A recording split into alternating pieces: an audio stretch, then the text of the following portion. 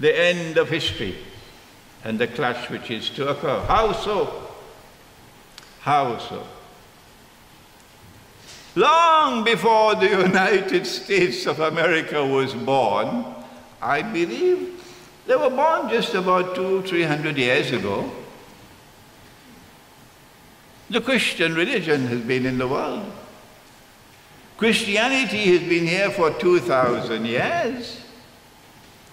And every Christian will know that Jerusalem is the most important city in the world for a Christian who is a Christian. But not all Christians are Christians anymore, you know.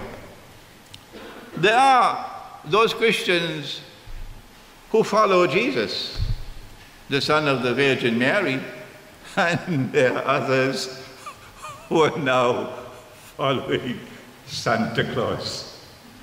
So we now, we now turn to that part of the Christian world which is still faithful to Jesus, the Son of Mary. And they are the ones who recognize Jerusalem as the most important city of all for them as Christians. Surely the schoolboy would have known that. The most important city of the world for a Jew is Jerusalem. For it was there in Jerusalem that the prophet David, we call him Nabi Dawood alayhi salam, established a kingdom. And the Lord God ordered him gave him orders. Listen to the order. بعد أعوذ بالله من الشيطان الرجيم يا داود O David إنا جعلناك خليفة في الأرض We are appointing you to a position of ruler on earth. You must now rule. You must now govern. You must now establish law. فَحْكُمْ بَيْنَ النَّاسِ بِالْحَقِّ And so David established rule, establish the state.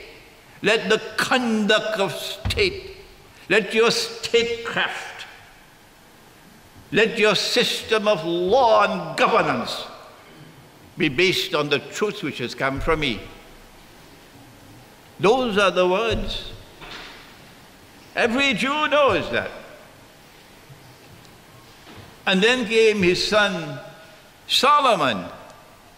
So We call him Nabi Suleiman alayhi salam. And with him, that state became the ruling state in the world, with Jerusalem as its capital.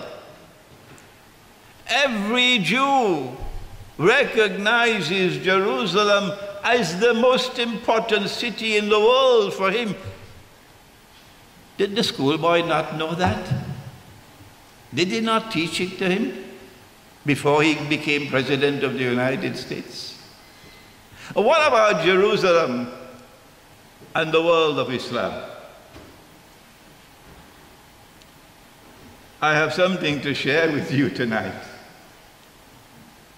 that you probably would be surprised to learn.